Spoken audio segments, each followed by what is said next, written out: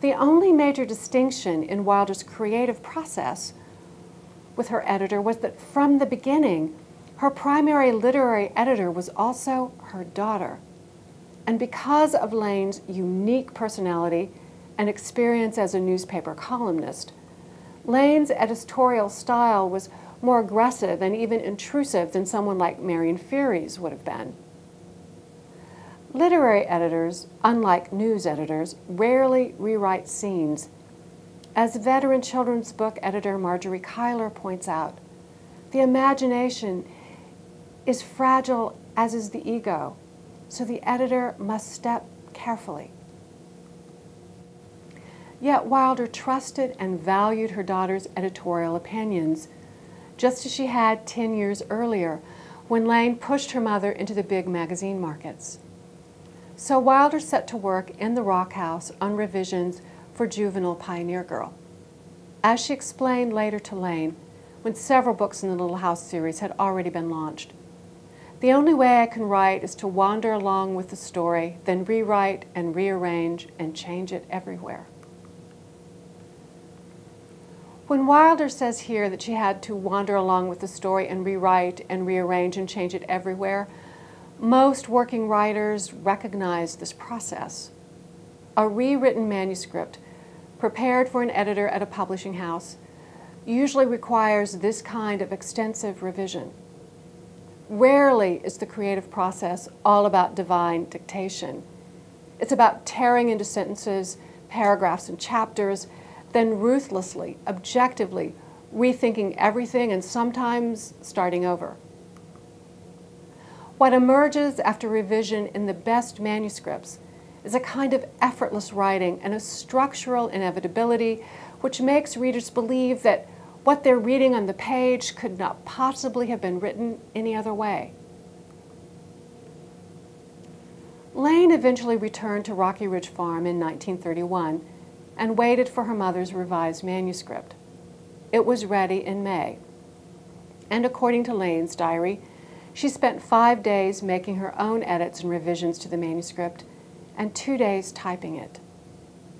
Lane's diary also indicates that she and her mother met together to brainstorm ideas about the book. Ultimately, Wilder read the final typewritten copy and approved Lane's final edits. Other than Lane's very brief diary entries, almost nothing exists to illuminate our current understanding of how these two women actually worked together on the first novel are the next two books in the series. But later in the semester, we'll examine their editorial process more closely through a series of letters between the two written when Lane had moved from Rocky Ridge Farm to Columbia, Missouri. So stay tuned. The revision that Wilder submitted to Marion Fiery exhibited the characteristics of an extraordinarily accomplished writer. But Fiery had absolutely no idea that the manuscript had already been edited by Lane.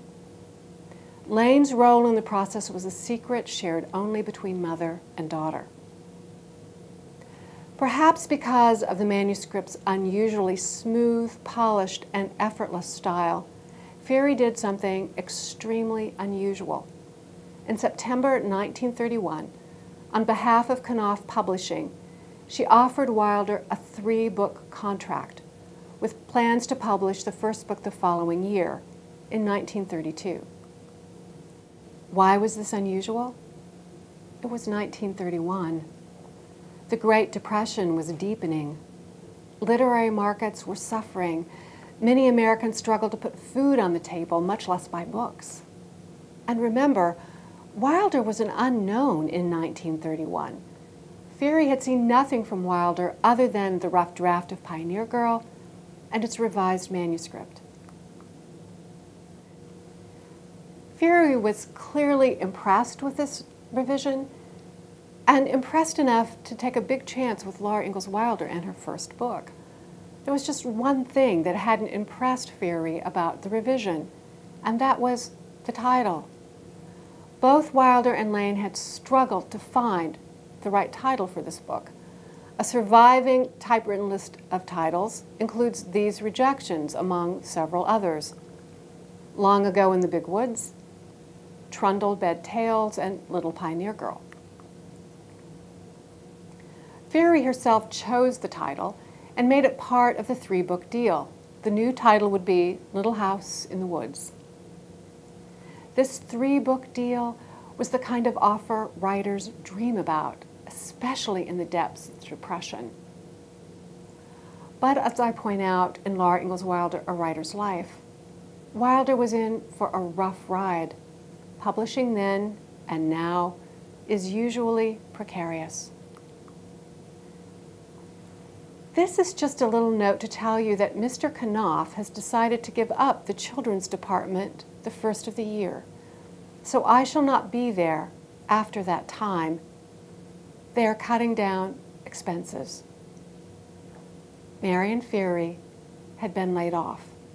The children's department at Knopf would close, and Wilder's book, if she signed that three book deal, would be orphaned. There would be no one at Knopf to champion Little House in the Woods or work with Wilder to develop the next two. For once in her relationship as advisor to her mother, Lane was stunned and unsure of herself. She wrote back to Fiery My mother does not know what to do, and I dare not advise her because I know nothing whatever of the juvenile field. Now, of course, the story ends well for Wilder. But I want to make a couple of quick points about this.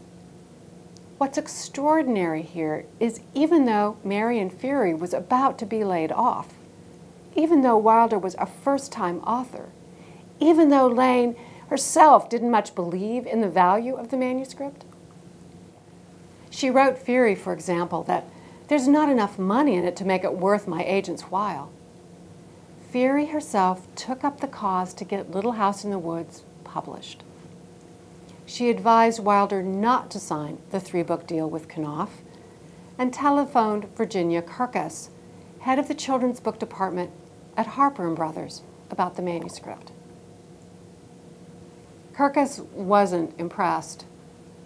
An elderly lady was writing a true story in fictional form about her pioneer childhood. Well, I had heard that tale before. Fiery persisted, met Kirkus for tea in New York, and gave her a copy of Wilder's accomplished manuscript. On December 8, 1931, Kirkus wrote Wilder, We are accepting your manuscript, Little House in the woods. Not surprisingly, Kirkus asked for more editorial changes, as editors always do, and ultimately proposed a new title for the book, Little House in the Big Woods. It was published on April 6, 1932, with illustrations by Helen Sewell. Virginia Kirkus at Harper & Brothers later said that it was the book no depression could stop. And yet, Wilder was never offered a multiple book deal again. For all she knew, when The Little House in the Big Woods was published in 1932, she might not sell another manuscript again.